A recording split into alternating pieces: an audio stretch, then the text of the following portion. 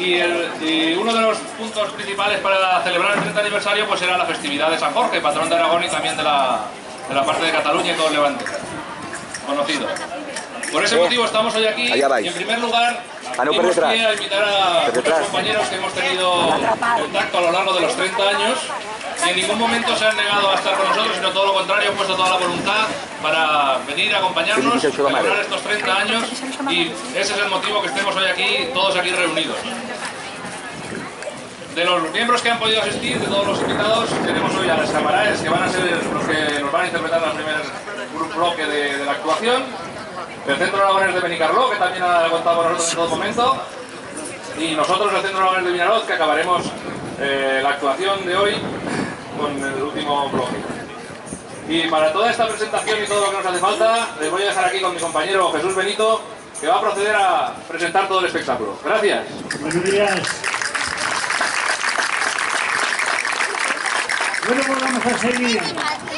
Vamos a seguir con la historia de los camaradas. Se dice así, la recuperación del folclore vinarocense se remonta a los años 30, pero no fue pasada la guerra civil allá en el 1940, quiero recalcar lo de civil, que se fundó el grupo folclórico de Camaradas. El mismo año se forma el coro de voces femeninas y una rondalla. La rondalla estaba formada por bandurrias, laúdes y guitarras en la parte melódica, castañuelas, palos, triángulo y panderos a la parte de percusión y ritmos. También se introdujo el sonido del caracol, sin cuernos. Aunque, aunque siendo un instrumento marinero, ya que lo utilizaban las barcas para hacerse los días de niebla para no chocar entre ellas. Al campo lo utilizaban para señalar- señalizar el comienzo y el final de la jornada y para avisar que estaban llegando al suelo cada cámara después de la jornada de trabajo. Tenían un toque especial para avisar al amo para que preparara el recibimiento de jornada. Después de encontrar a las canciones y los pasos de baile, hacía falta documentarlo, ya que la gente tocaba de oreja. En los años 1941 a 1942 fue el ser don Tomás Mancisidor a estas fechas, director de la banda municipal, la, la Alianza, quien puso en solfa la música popular villarrocense. Las psiques organizaron los bailes asesorados por Francisco Chabel Ver, el tío Severo. En un principio, las bailadoras eran todas de la sección femenina, pero en el año 1955 se, se incorporaron bailadores masculinos ganando en vistosidad.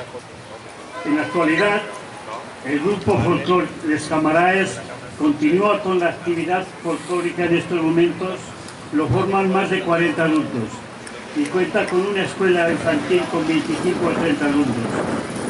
Participa en las fiestas más representativas del pueblo y también realiza salidas a los pueblos vecinos, en festivales, encuentros, pregones, etc.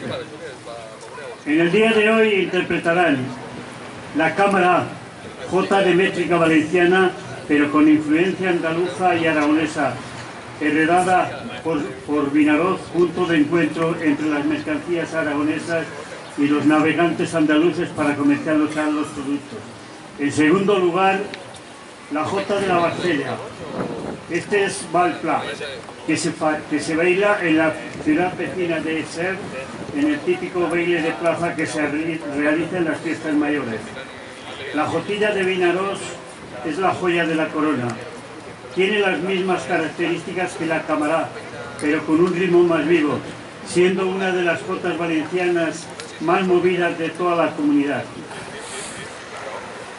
Por- si hay tiempo y si quieren descansar los bailadores, haríamos la jota de Alfar cantada. Es una, toca- una típica jota valenciana. La haríamos entre la 2 y la 3. Quiero pedir perdón porque mi acento valenciano no es muy correcto. Yo soy de Teruel y les digo, pero oye, el que quiere, el que quiere y pone su interés todo lo que puede, pues yo creo que está perdonado, ¿no? Con los camaradas os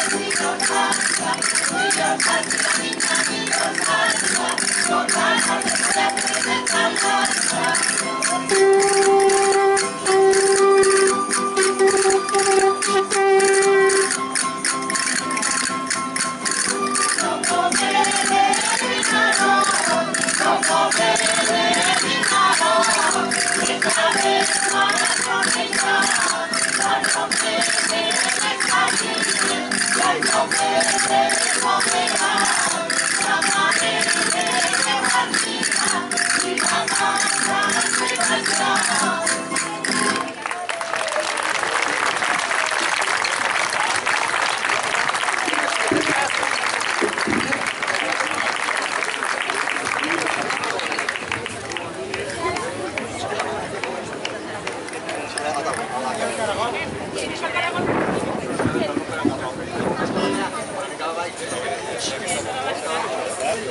días.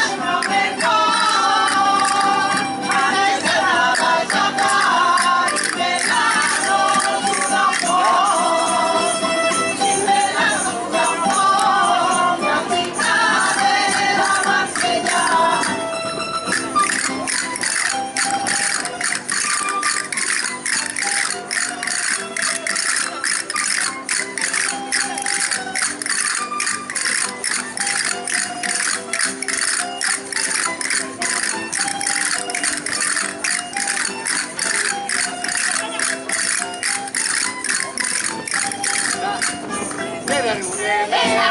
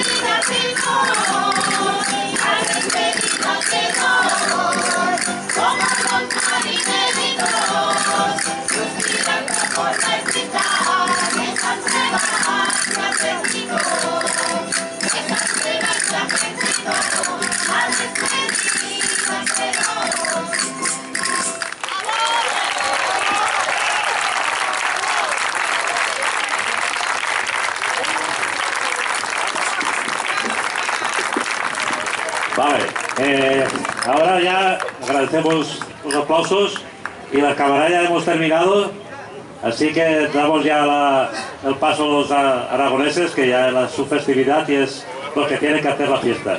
¿Vale con ustedes?